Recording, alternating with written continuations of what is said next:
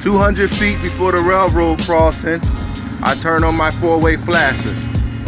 50 to 15 feet, I come to a complete stop or at the stop line.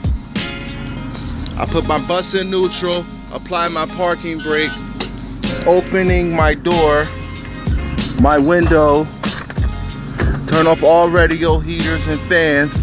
I look and listen both ways, make sure there's no train coming up or down the track. I check to make sure there's enough space to get my bus completely across the track. When it is safe, I put my bus in drive, release my parking brake, close my door, and accelerate rapidly across the tracks. If the barrier should come down, I go through it in radio dispatch. Once I'm completely across the tracks, I turn off my four-way flashers. I never ever stop on the railroad tracks.